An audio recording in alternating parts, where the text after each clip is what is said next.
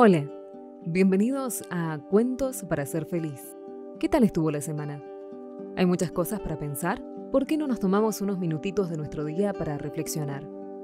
¿Y qué mejor manera que hacerlo como cuando éramos chicos y nos leían un cuento?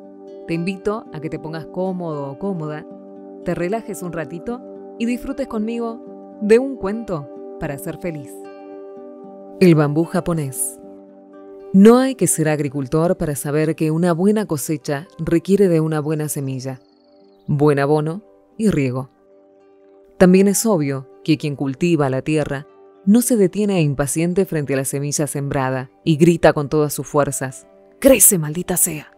Hay algo muy curioso que sucede con el bambú y que lo transforma en no apto para impacientes. Siembras la semilla, la abonas y te ocupas de regarla regularmente. Durante los primeros meses no sucede nada apreciable. En realidad, no pasa nada. Y así durante los primeros siete años.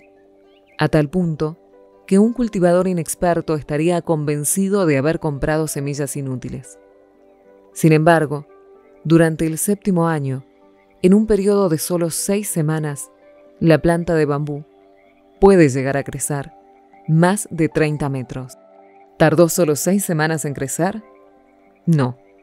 La verdad es que se tomó siete años y seis semanas en desarrollarse.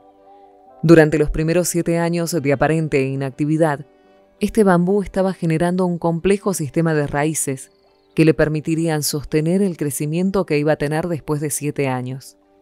Sin embargo, en la vida cotidiana, muchas personas tratan de encontrar soluciones rápidas, triunfos apresurados, sin entender que el éxito es simplemente el resultado del crecimiento interno y que éste requiere tiempo. ¿Les gustó? ¿Me lo cuentan en mis redes? Los invito a seguirme, a suscribirse. Soy Tamara Ormeño Locutora en todas las redes sociales. Cualquier tipo de interacción es bienvenida. Además, te comento que esta iniciativa se sostiene a través de los aportes que sus oyentes quieran hacer. ¿Qué dicen? ¿Me ayudan a mantener este proyecto? A mí me ayuda un montón y lo agradezco. Podés colaborar conmigo sumando tu aporte a mi cuenta de Mercado Pago. Vas a encontrar el link en la descripción de este capítulo. Y de esta manera yo voy a poder continuar con este proyecto que me gusta mucho y que espero que a vos también. Nos encontramos la semana que viene. Hasta la próxima lectura en Cuentos para ser feliz.